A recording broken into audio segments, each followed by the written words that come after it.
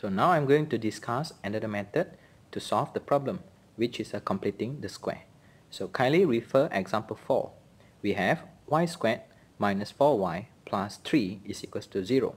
So first, before we start completing the square, do remember to make sure that the coefficient of y squared is equals to 1.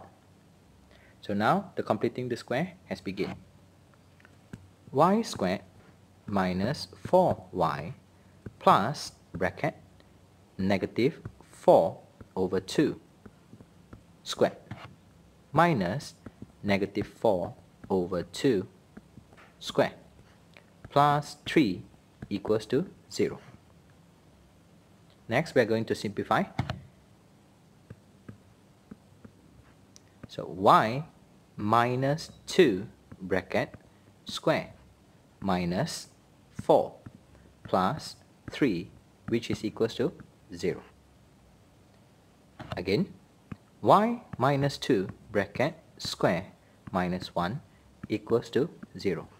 So here we have the standard form. So now the question asks us to find the value of x. So we are going to simplify. So where we have y is equals to plus minus square root of 1 plus 2. So where y will be equals to 3, y will be equals to 1. As we all know, y actually is equals to 3x equals to 3. 3 power of x is equals to 1. So we have to equate the base. So for the left hand side, we know that we can compare.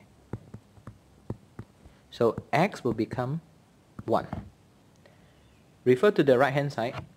3 to the power of x is equals to 3 to the power of 0 so from here we have a same base. So we can compare the situation and x will be equals to 0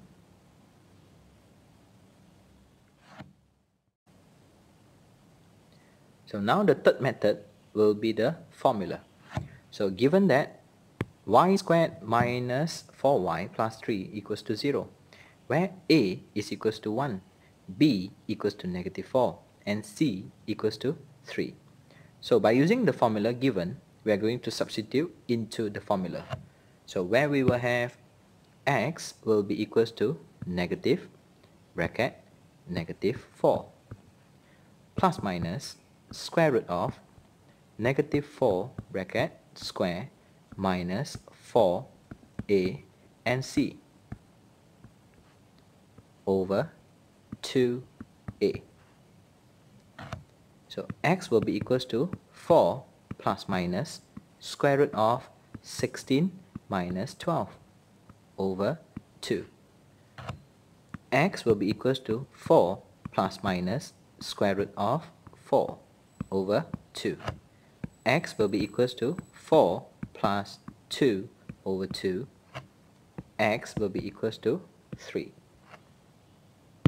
another one will be x equals to 4 minus 2 over 2 x will be equals to 1 so here we are and thanks for watching